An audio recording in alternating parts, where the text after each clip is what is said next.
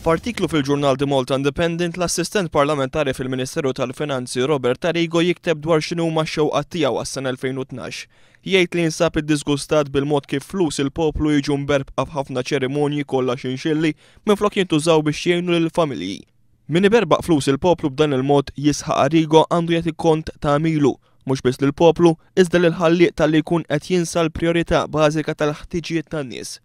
L-Assistent Parlamentari fil-Ministeru tal-Finanzi jgħid li għas-sena l-ġdida x-xewqa tiegħu hija li jara l-flus imħallsa f'taxxi mill-Maltin u Għawdxin jintużaw b'mod tajjeb.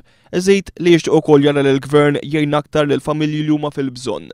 Arrigo jisħaq li l-prijorità għandha tkun dik li fis-skiet ikunu megħjuna l-familji, u mhux il-pożi quddiem il-kameras biex dak li jkun juri kemm huwa ħanin meta fil-fatt din ma tkunx ir-realtà. B'hekk biss, iżid l-assistent parlamentari, inkunu Kristjani prattikanti. F'The Malta Independent, Arrigo jiddedika wkoll spazju dwar it-tmexxija Nazzjonalista tal-Kunsill Lokalità ta' Sliema, lokalità li tagħmel parti mid-distrett elettorali li minnu jkun elett fil-Parlament, dwar it-tmexxija tas-Sindku Nazzjonalista Joana Gonzi, li għandha parentela mal-Prim Ministru, jgħid li n-nuqqas ta' leadership fil-Kunsill Lokalità ta' Sliema, hija evidenti u ġiet esposta għal iktar minn darba.